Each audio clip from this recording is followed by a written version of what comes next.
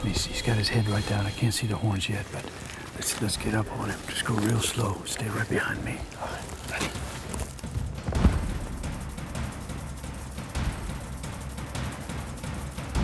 We're gonna try and get get up to that green bush up there, and then set up the sticks. And then, as soon as he's broadside, I want you to take him.